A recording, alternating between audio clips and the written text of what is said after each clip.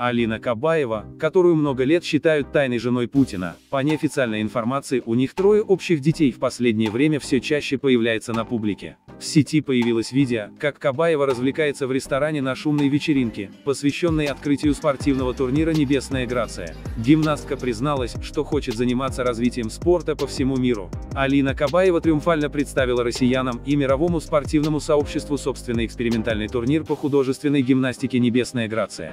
Давно закончившая профессиональную карьеру легендарная спортсменка уверенно выступила перед слушателями и призналась, что хочет развивать художественную гимнастику во всем мире. Когда официальная часть мероприятия подошла к концу, Кабаева пригласила гостей в ресторан «Восход» возле Кремля. Алина пришла в сверкающем платье золотого оттенка. Когда все важные слова были сказаны, гости вечеринки пошли в пляс.